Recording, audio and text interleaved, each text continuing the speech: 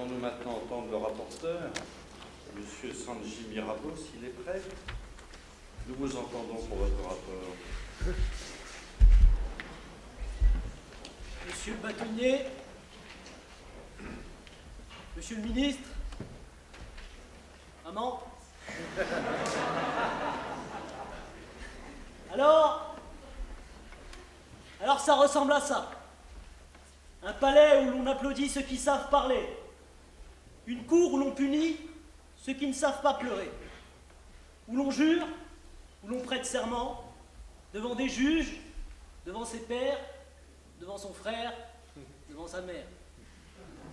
Et quelle ironie, la première chambre. La première chambre, oui, pour le dernier des secrétaires. En même temps, c'est mérité. Oui, c'est mérité d'avoir la première quand on est le dernier. Oui, c'est quand même grâce à moi. Si après Jules Grévy, Léon Gambetta, Raymond Poincaré et Alexandre Duval-Stala, que Mirabeau est entré dans la conférence. Mais si l'histoire est belle, si la salle est sublime, si le soleil brille toujours sur les plages de Pondichéry, où peut bien se cacher la vérité? Avez-vous remarqué comme il est nécessaire que tout soit beau pour juger ce qui est laid, pour se protéger, se prémunir, se défendre de la vérité Oui, la vérité est un déluge, un naufrage presque, un jugement dernier. On ne peut rien contre la vérité. Elle nous habille comme elle nous salit. Elle nous submerge, nous baptise, nous empêche de jouer aux honnêtes gens. On peut éteindre un incendie avec des lances à eau, mais essayez de calmer le déchaînement des océans avec un lance-flamme. Oui, la vérité, c'est ça. C'est comme ce regard que l'on détourne des clochards de l'avenue de la République, qui succombe aux alcools amers et qui coule sous les ponts d'Apollinaire. Oui, les naufragés, les alcooliques, portent la mélancolie des races barbares, avec ses instincts et ses goûts innés de la vie, qui vous imposent, oui, ô capitaine, mon capitaine, de sombrer avec le navire ou de dériver sur un radeau. Des tempêtes graques de Sirte aux vendanges tardives de Myrte, il est toujours incertain de rester à jeun ou à flot quand on aborde la vérité. On voudrait prendre le large, ouvrir un livre comme on ouvre une bouteille, jeter l'encre sur des pages, mais on trouve vite l'infortune, et l'on échoue sur des bancs de sable, des bouchons de liège au son des rivages d'Artège. Et voyez ce soir, la vérité est en marche. Voilà que l'on confond une séance de la conférence avec une séance chez le psy, que l'on confond l'exercice du discours avec un dîner chez les aguris. La vérité, un naufrage, je vous dis, pour vous, pour moi. Il fallait, il fallait donner des sujets, j'ai livré mes questions. Il fallait faire un rapport, et voilà que je livre des confessions. Pas les miennes, mais celles de Mozart qu'on assassine, celles de ceux que l'on essaie de couler. C'est l'histoire de ces enfants qui vivent dans un immeuble, un immeuble tout près du ciel, mais dont le hall d'entrée ressemble au radeau de la Méduse. Et les bourgeois défilent dans ces halls, à la recherche de drogue et de barrettes, comme on se promène dans les galeries du Louvre pour admirer les grands formats des peintres français du 19e. Oui, ici, dans ma cité, les gens font la queue. Et il faut le répéter, même si c'est difficile à comprendre, si l'on n'y a pas grandi. Il n'y aurait pas de dealers dans ces quartiers maudits s'il n'y avait pas de clients pour venir les maudits. Oui, la vérité est que dans ces endroits, il suffit pour être trafiquant de rester en bas de chez soi. Oui, la vérité, c'est que nous avons tous intérêt à ce que ces enfants restent là en bas, que ces trafics restent dans ces cités là-bas. La toile de Jéricho. La toile de Jéricho fait 35 mètres carrés. Et 35 mètres carrés, c'est la taille des appartements de cet immeuble, où l'on s'entasse à 10 à Nanterre, à 100 à Grigny et à 4000 à La Courneuve. Ici, les enfants n'ont pas pied. Ils ont le vent de face. Mais ils nagent. Ils ont appris à nager avant même que de savoir à marcher. Et ces enfants, on s'attend presque à les voir voler. Et puis finalement, on les note, on les chronomètre, comme temps de régate toujours en retard sur le temps, sur les autres et sur la vie.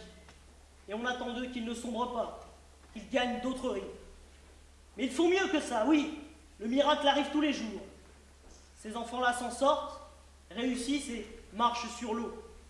Et ils sont là, ces enfants, de Nanterre et d'ailleurs, sans rien dire, brillants, superbes et généreux, comme le lion d'Hernani.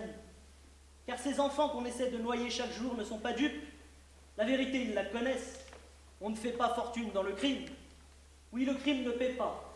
Il ne sert qu'à vivre en prison et à payer nous, les avocats. Oui, la vérité, c'est le précipice de nos convenances, quel que soit le côté de la barre, et même dans la bonne société.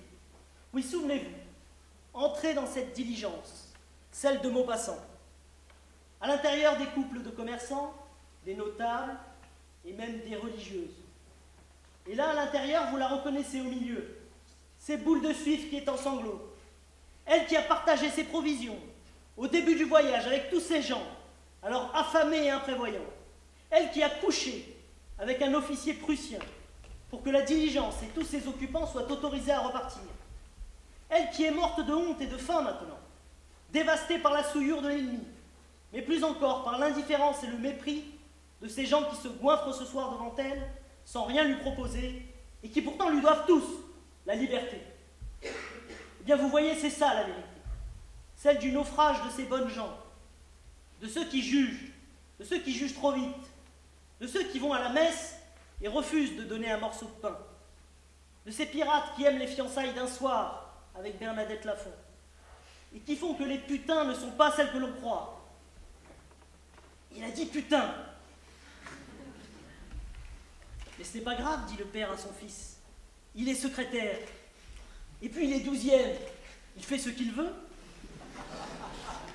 Et puis tu sais, fiston, les gens les plus grossiers ne sont pas forcément ceux qui sont vulgaires. Oui, la vérité sort de la bouche du Père. Et voilà la vérité qui fait la transition entre le Père et le Fils, entre les deux questions. En effet, si la vérité est sous l'eau, c'est donc que notre Père aussi, et qu'il n'est pas aux cieux. Et, même sans syllogisme facile, c'est une évidence que notre Père n'est pas aux cieux, puisque le ciel n'est pas un endroit, c'est une couleur. C'est donc que le Père n'y est pas. Oui, un Père est toujours aux côtés de son Fils. Le mien est solide.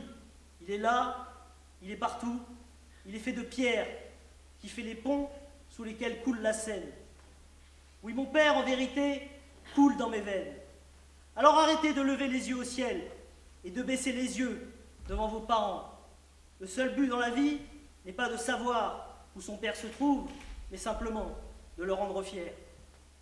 Le Père est à la droite du Fils et dans le cœur d'une mère. Là, vous vous dites, qu'est-ce qu'il raconte?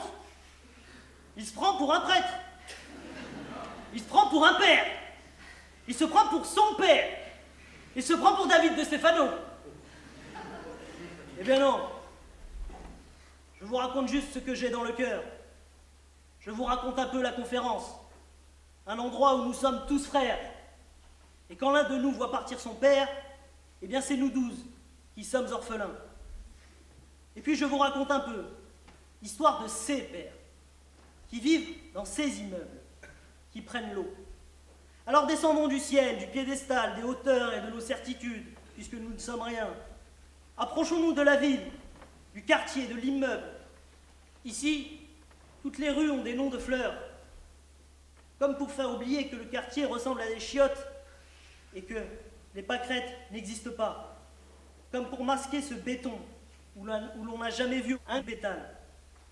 Là, des iris, là, des coquelicots, là, des genêts, là, des glycines. Ah, les glycines. Si tu savais, je ne peux plus te parler des glycines, mais si tu savais tout ce que les glycines me disent de toi. Les glycines, donc arrêtons-nous. Au quatrième étage, un appartement, tellement plus beau que cette salle, parce que c'est leur appartement. Ici, deux fils jouent avec leur père. Ils regardent la télévision. Le père va bientôt mourir, mais pas tout de suite. Alors en attendant, il lègue à ses fils quelques héros pour cheminer dans la vie. Rio Bravo et Dean Martin, qui prend un dernier verre, Yul Brynner et les sept mercenaires, mais surtout Robert Redford et Brubaker. Henry Brubaker.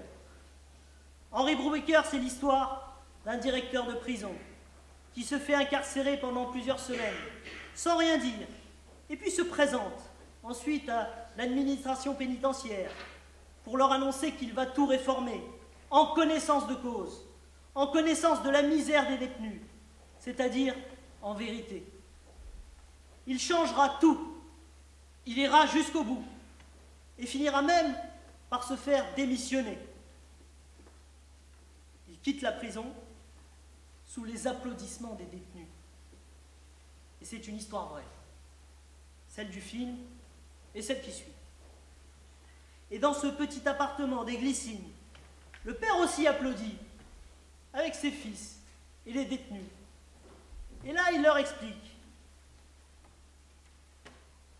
Chaque fois que vous agirez bien, chaque fois que vous ne ferez pas de compromis avec vos principes, et que l'on vous applaudira pour ça, et ça arrivera puisque vous êtes né ici, eh bien je serai là, entre les paumes qui claquent, entre les mains qui se frappent, dans la rumeur des applaudissements qui s'évanouissent et qui murmurent, ne me cherche pas mon fils, je suis là.